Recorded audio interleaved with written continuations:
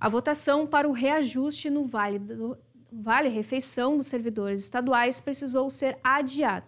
Agora, o projeto deve ir a plenário somente na próxima semana, na sessão do dia 14.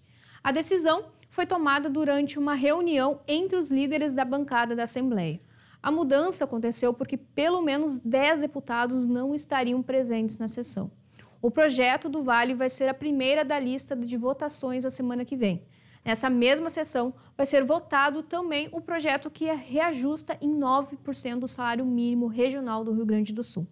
A expectativa é que o novo Vale Refeição seja de R$ 366,60 e a partir de maio do ano que vem aumente para 400 reais.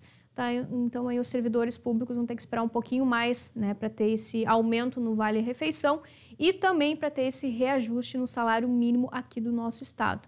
Então aí a partir de semana que vem, a partir do dia 14, a gente vai ter alguma novidade a respeito desses aumentos.